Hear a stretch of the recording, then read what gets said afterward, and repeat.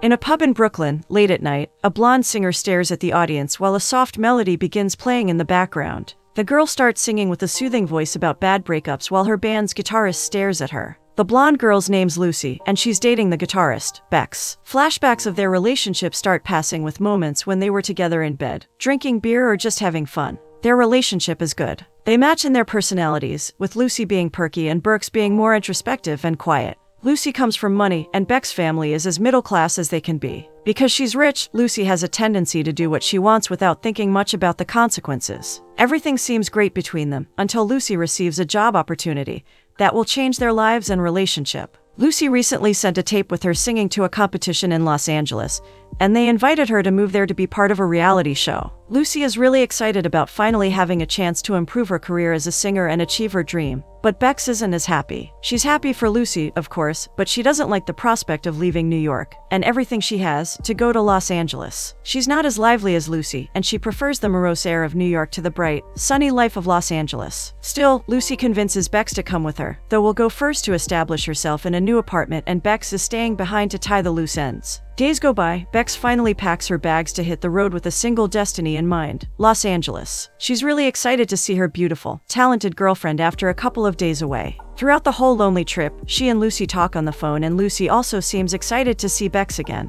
Some time later, Bex arrives at Lucy's new building a day early to surprise her since Lucy isn't expecting her. Bex knocks on her door with a big smile on her face, anxious to see Lucy again. Lucy opens the door with her hair disheveled, and when she sees Bex there, her face pales. She is surprised and tells Bex she didn't expect her until the next day. Bex happily replies that she wanted to surprise her when a strange female voice comes from the bedroom. Then, a half blonde girl appears from Lucy's bedroom, and the smile fades from Bex face when she realizes what's going on. Lucy closes her eyes, ashamed, and Bex storms out, angry that Lucy played her like that. Lucy tries to explain, but Bex is not hearing it. She goes away, feeling lost and betrayed. Instead of going back to the city, she goes to her mother's house in the suburbs. Her mother expects her with her arms open and Bex hugs her tightly when she arrives. She dejectedly explains to her mother, Anne, that she quit her job, sold all her things and drove all the way across the country only to support Lucy and her stupid competition. Her mother replies that she never trusted Lucy because it was obvious she seemed to be hiding something, with the amount of eyeliner she used and her wealth. Bex interrupts her, saying that she didn't like Lucy because Lucy is a woman.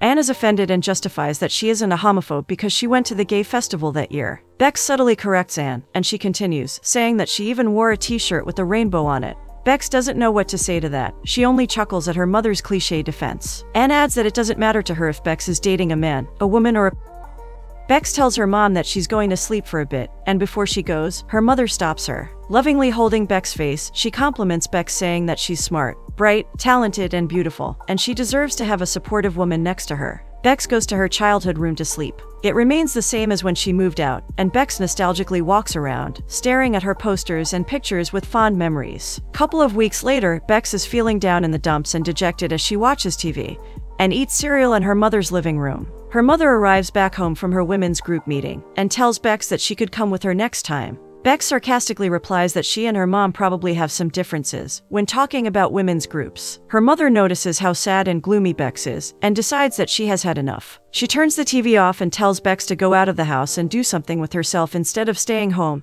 and pining for Lucy. Bex takes her mother's not so subtle advice and decides to go out. She isn't feeling very excited by the prospect of facing life again, but it's time for her to figure out what to do without Lucy. She goes to the city and starts gluing flyers offering guitar lessons. After gluing all her flyers, she calls an old friend of hers from her hometown and meets him at his bar. Her friend's name is Dave, and he is the owner of Perfectos, an old school bar with a pool table and an old, lonely man drinking in the middle of the afternoon. Dave asks how life has been to Bex and she explains that she's broke, single and living with her mom. Dave jokingly replies that he's a billionaire sleeping with a bunch of women every night, so he can't relate. They talk and drink for some time. Bex explains her hard breakup with Lucy with a wistfulness of a recent breakup, and that Lucy moved on with a younger, hotter girl while she's there, drinking and offering guitar lessons to strangers. Dave offers Bex to play at his bar, even if it's not a big or fancy place. Bex accepts it. After her meeting with Dave, Bex gets out of her funk and starts getting control of her life again. She cleans up around her mother's house, fixes broken things, and organizes her mother's mess. While she's organizing her mother's cabinets, she finds a green box filled with pictures of her mom and dad.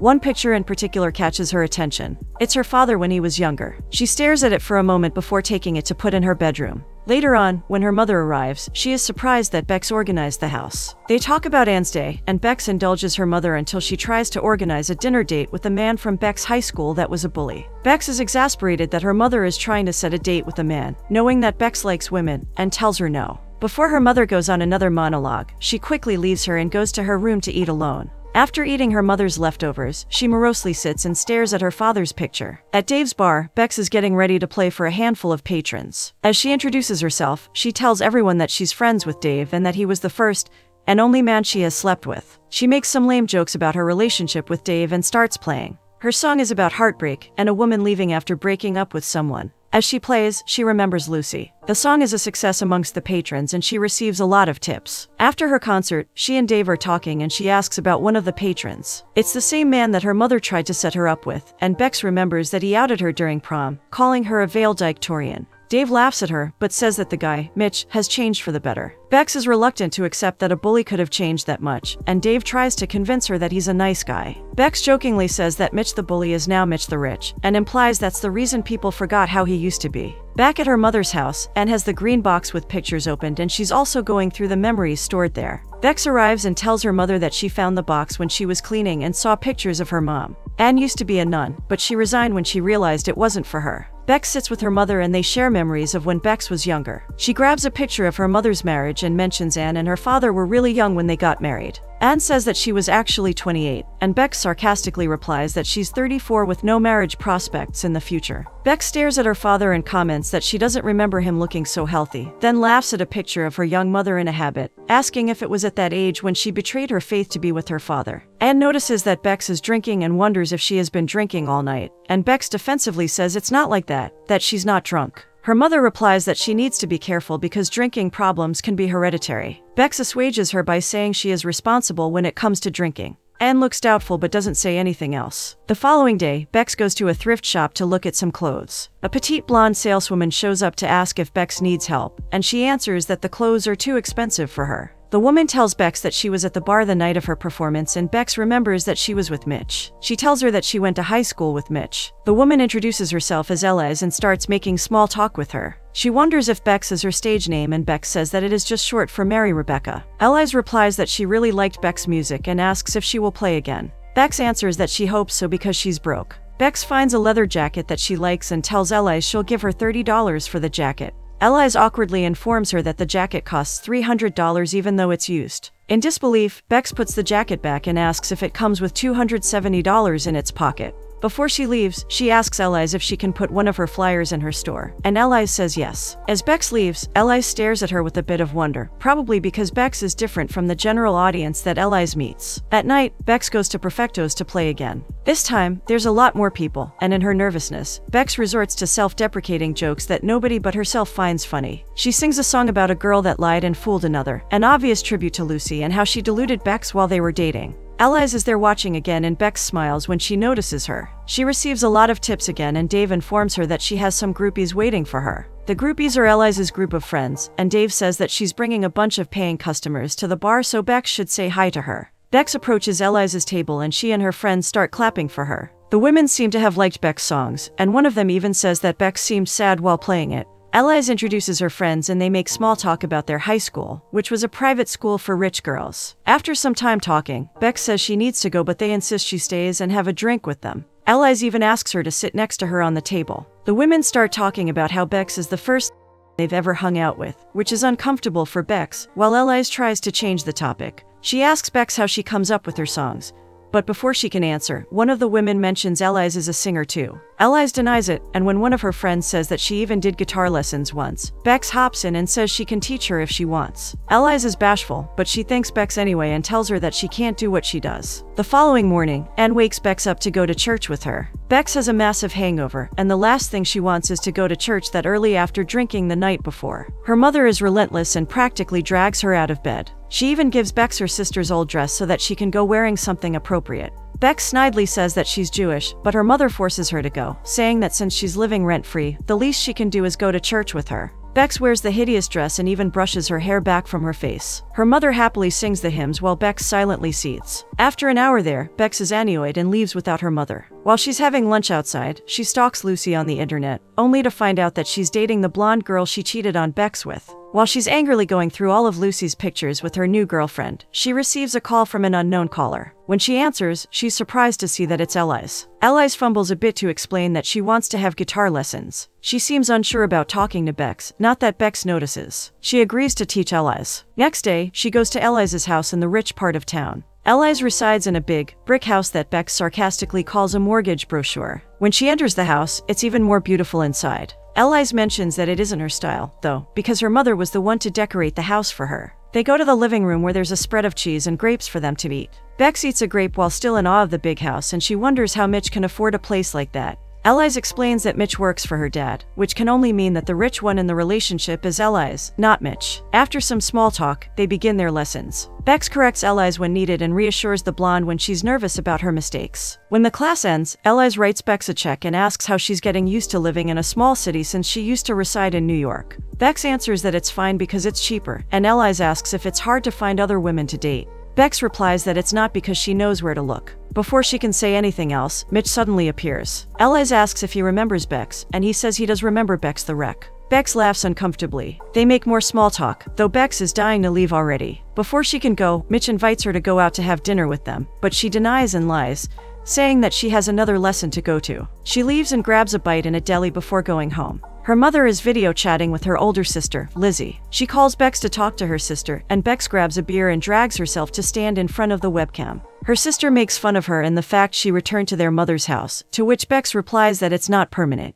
Lizzie proceeds to talk about Lucy and how she knew it wasn't going to work between them because Lucy had money. Bex interrupts her and tells her to text her when she has another kid. She goes to the living room and listens while her mother complains that her sister never comes to visit with her grandchildren. There is a ruckus in the background of the call, and soon, the call ends. During her next gig at Perfectos, though she sings a song about a father that needs to let his kid go, Bex replays her memories with Lucy again. Next day, she has another lesson with Elise. They are more comfortable with each other, and Bex even opens up about her living situation with her mother. She never had such a good mother-daughter relationship and after her dad died, she almost never visited her mom. She wants to go back to New York after she makes some more money. Elise argues that their hometown is not bad, and Bex answers that it's at least better than Los Angeles, and that maybe the problem is not the place, but the people. Realizing that Bex doesn't have many friends in town, Elise decides to invite her to a barbecue at her place on the weekend. Bex replies that she wants to meet people that are more like her, to which Elise jokingly tells her not to be a snob and that the barbecue will be good for her.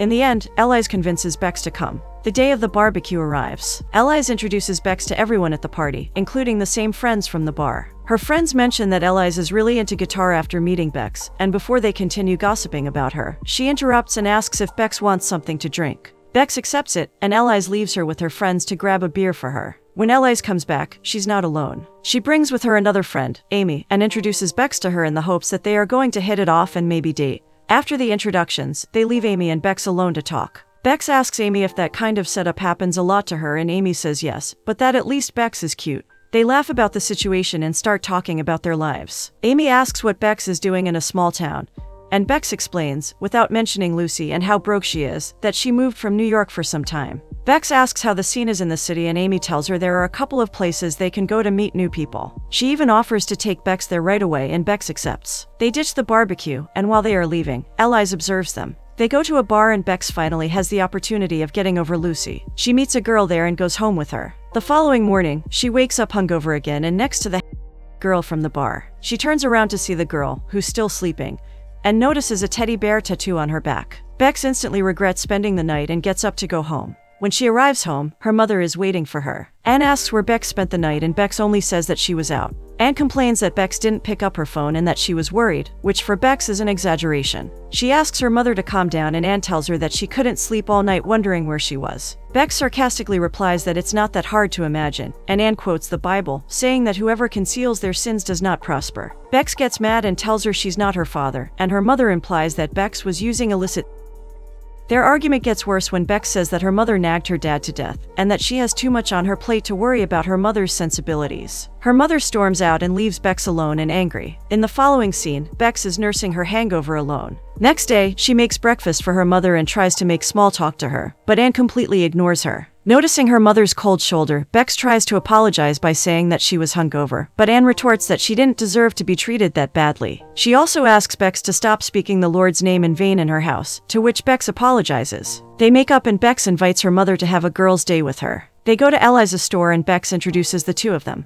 Eliza cheekily asks if Bex talents come from her mother and Anne replies that it does. Anne gets excited to learn that Eliza is married to Mitch, who is her friend's son. Bex informs Eliza that she brought her mother there to buy her a new wardrobe. When they choose Anne's new clothes and go pay, it's more than $300. Anne tries to help Bex pay, but she refuses. Eliza, noticing that Bex isn't too well off, decides to put the leather jacket that Bex liked as a gift for her. Bex loves it and Eliza watches as she puts on the jacket with a soft expression. Anne goes back home after shopping with Bex, and Bex and Eliza go to Dave's bar. They talk about their mothers for a time. Eliza says her mother is a shrew and Bex makes fun of her. Eliza wonders how Anne reacted to Bex being a and Bex replies that she's beginning to understand her. Eliza subtly asks about Amy, and Bex answers that though she's cool, she's not her type, that she prefers girls that are more feminine. Eliza wonders how she understood she was a and Bex tells her the story. She was in college and she had a crush on a girl, but she didn't want to have that crush so she decided to be intimate with a guy to try and get it out of her system. It didn't work and Bex understood that she didn't like men. While she's talking, Eliza is really interested and into the story. They are interrupted by her phone ringing.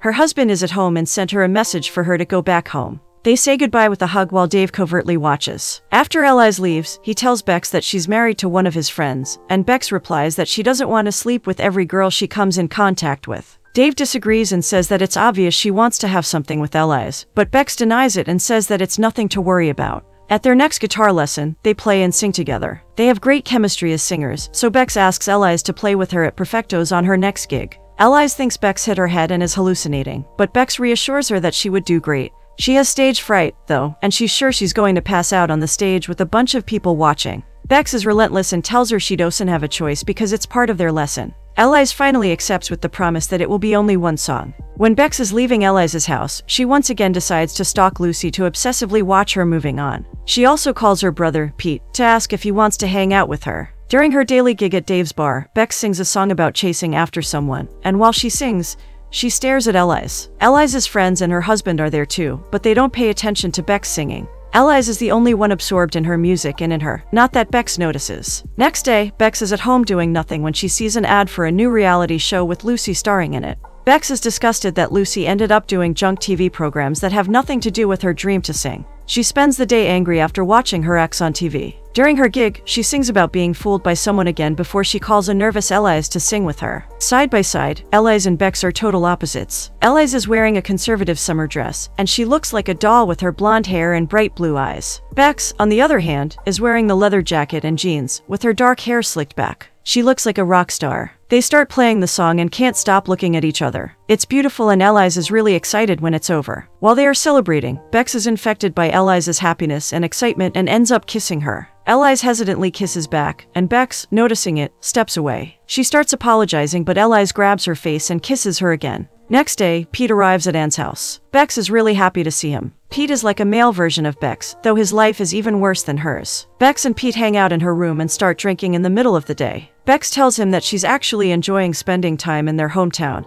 and that she met some nice people, namely Eliza. Her brother notices right away that there's a woman involved in his sister's decision to stay there for longer, and asks her about it. Bex refuses to answer who the mystery girl is, and they start playing guitar and singing. Anne overhears them and gets emotional that two of her kids are back in her house after so long. Bex and Eliza sleep together at her house during their guitar lessons. They are lying down on the bed talking, when Eliza confesses that Mitch doesn't notice anything in their life. He didn't even notice when she changed her hair. Bex tells her that she would notice it. Eliza stops talking about Mitch and complains that the issue isn't him, but her and her boring life. Bex mockingly says she's offended that Eliza is bored while she's with her, and starts kissing her. Eliza is on top of the world, giggling and having Bex full attention on her. At night, Bex goes drinking again, this time with Dave. She doesn't tell him she's sleeping with Eliza. After all, he warned her not to because she's married. At home, she spends time with her mother and brother, something she hadn't done ever since her father died. Pete and her hang out a lot, and are always drinking something. One day, while they are walking in a park, Elise cancels her plans to meet with Bex, which upsets her. Her brother notices and asks about it, but Bex only says it won't work anyway. Pete asks if she fell for a straight girl again, and Bex finally confesses that the girl she's seeing is married to none other than Mitch Cunningham. Pete finds it funny and says that if their mom finds out, she's going to freak out. Bex says that Elise is pretty and and Pete tells her to stay then, because he wants to see the drama unfold. Bex sends Elise a message, telling her to meet her at her mother's house. If they can't meet at hers because of Mitch. Elise accepts it. Later on, they are lying in Bex childhood bedroom, and Bex talks about how being with a man never felt right for her. Not the way she feels with Elise. When she tells Elise that, her bright and happy mood sours. Elise turns away from Bex, and when Bex asks her what happened, she tells her that she doesn't know what she's doing with her life. She explains to Bex that she's going to leave eventually, and Elise will have to go back to her boring life with a husband that doesn't notice her. She starts crying and Bex tries to comfort her. She asks Elise what would happen if she didn't leave, and Elise scoffs and replies that she had a foot out of the door since she got back. Bex wonders if Elise would divorce Mitch to stay with her, and Elise kisses her instead of answering. They get intimate again, and while they are in the throes of passion, Anne opens the door to Bex room and catches them in the act. Anne sends them a look of disapproval and leaves the room. Elise starts crying because Anne is her mother-in-law's best friend. Bex doesn't know what to say or do. After Elise leaves, Bex goes to Dave's bar to drown her sorrows and Next day, she tries calling Elise but it goes straight to voicemail. She asks Elise if they can talk about what happened and to call her back when she can. Things get worse when Pete abruptly leaves, telling Bex that he can't handle their mother drama because he heard her crying the whole night. Bex tries to make him stay, but he tells her that some families are better off apart. After he leaves and Elise doesn't call her back, she goes to her house. Mitch answers the door and he looks confused when he sees Bex there. He tells her that Elise isn't home, she's at the mall with her mom, and even offers to call her if she needs to talk to her. Bex tells him it's not necessary, that she probably mixed up her schedule. Mitch notices that she's acting weird and offers her a beer. Bex tries to deny it, but he insists. He says that he needs to talk to her about something. Bex begrudgingly enters the house. Mitch hands her a beer and tries to make small talk about baseball, but Bex doesn't watch it. It's awkward for a moment and she doesn't know how to act around him.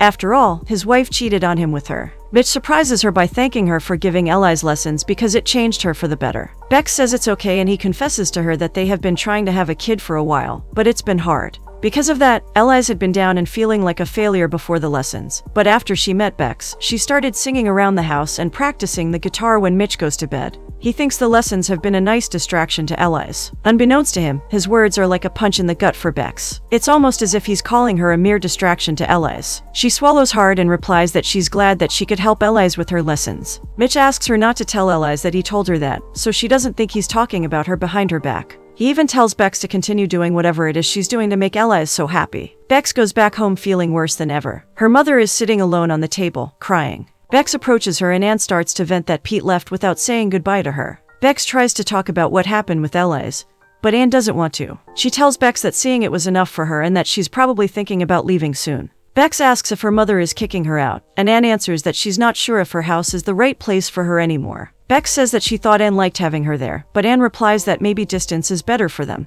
that she doesn't want Bex disrespecting her house that way. Bex chokes on her tears as she tells her mother that she's an adult, that it's normal for her to be intimate with someone and that it was unfortunate that her mother saw her in the middle of it. Her mother snaps that it was disgusting. Bex gets defensive and accuses her mother that no matter how many pride parades she goes, she won't ever accept the fact that she likes women. Anne tells her to get over herself, that she's disgusted because she seduced a confused woman who happens to be married to her friend's son. Bex tearfully says she's in love with Elise, but Anya scoffs in disbelief because Bex said two months back that she was in love with Lucy. She thinks Bex doesn't take people's feelings into consideration, and that her being a doesn't excuse her selfishness. To make Bex feel even worse, Anne says that she had a nice life before Bex showed up and that she's not going to let her take that away from her. Bex doesn't have anything to say to that. It hurts that her own mother thinks that about her. A few moments pass in silence until Bex breaks it and tells her mother that she will leave in the morning. Later that same night, Bex sends a message to Elise and she agrees to meet her. Bex asks if she's okay, and Elise says no.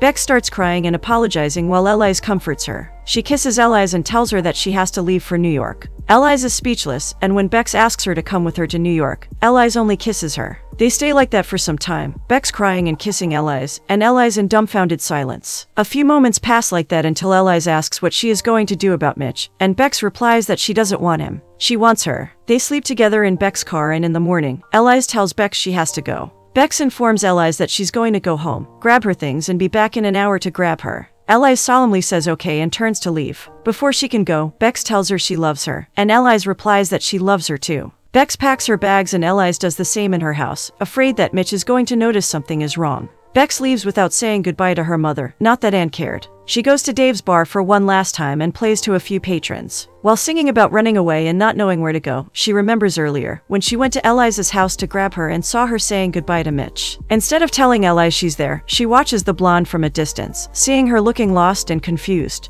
Bex starts crying in her car and decides to leave without Elise, probably because she thinks Elise isn't making the right decision. As for Elise, she nervously waits for Bex with her packed bags, but she never shows up. When she realizes that Bex left her without even saying goodbye, she starts crying. Some time later, Bex is back in New York, now as the lead singer in a band, and she sings the same song she sang after leaving her hometown, and Elise behind. She and Elise never meet again.